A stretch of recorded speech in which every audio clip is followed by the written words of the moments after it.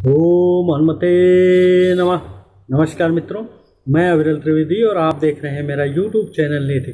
मित्रों, आज बात करते हैं केले के तंत्रीय प्रयोगों के बारे में। मूसा जाति के घासदार पौधे और उनके द्वारा उत्पादित फल को केला कहा जाता है। मूल रूप में यह दक्षिण पूर्व एशिया के उष्ण देशीय क्षेत्र के हैं और संभवतः इनको मूल रूप में पापुआ न्यूगिनी में उगाया गया था। केले के अद्भुत फल होते हैं, या औषधीय गुणों से परिपूर्ण होते हैं। कच्चा केला भी खाया जा सकता है, और पका भी। पका हुआ केला बृहस्पति ग्रह से संबंधित है, और कच्चा केला बुध ग्रह से संबंधित है। केले की मिठास मंगल से और रंग बृहस्पति से संबंधित होता है। केला जितना घुलता जाता है, उतना ही मंगल से नज़दीक होता जाता है।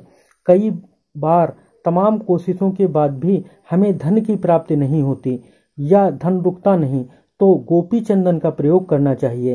किसी भी गुरुवार को या गुरु पुष्य योग पर गोपी चंदन की नौ डलियाँ लेकर केले के पेड़ पर टांग देनी चाहिए। इससे धन प्राप्त होती है व इच्छित मनोकामनाओं की पूर्ति होती है।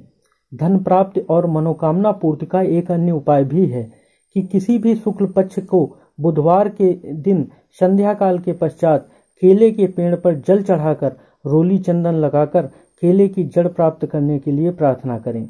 गुरुवार को प्रातः जाकर उसी पेड़ से एक जड़ निकाल लें। फिर उस जड़ को केसर के जल में डालकर सामने दीपक जलाकर ओम बृहस्पत नमः का एक माला जप करें। फिर उस जड़ को किसी पीले कपड़े में बांधकर धन रखने वाले स्थान पर रखें। इससे धन का लाभ होता रहता है और माता लक्ष्मी की कृपा प्राप्त होती है। एक अन्य उपाय यह है कि गुरु पुष्य नक्षत्र में पीले वस्त्र धारण करके केले की जड़ प्राप्त करें और फिर उस जड़ को गंगा जल से धोकर पीला धागा बांधकर तिजोरी या पर्स में रखें। इससे धन लाभ के योग बनेंगे और धन प्राप्ति होती रहेगी। अगर ज़्यादा आर्थिक परेशानियाँ हों तो मंदिर में केले के दो पेड़, जिसमें से एक नर हो व दूसरा मादा हो, एक साथ लगाएँ। जिन जातकों की कुंडली में बृहस्पति ग्रह कमज़ोर है उन्हें पुखराज पहनना चाहिए। लेकिन अगर पुखराज नहीं खरीद सकते हैं तो केले की जड़ पीले कपड़े में बाँध करके कमर या भुजा पर धारण करनी चाहिए। बृहस्पति की कृपा पानी हो तो नहाने के बाद केले के पेड़ पर नियमित जल चढ़ाना चाहिए। जिन जातकों की शादी में बाधाएँ आ रही हों, उनको पीले वस्त्र में हल्दी बांधकर केले के पेड़ पर एक बृहस्पतिवार को बांधनी चाहिए। व दूसरे बृहस्पतिवार को वह हल्दी बहते हुए जल में प्रवाहित कर देनी चाहिए। ऐसा कम से कम ग्यारह बृहस्पतिवार करने से विवाह अति शीघ्र हो जाता है।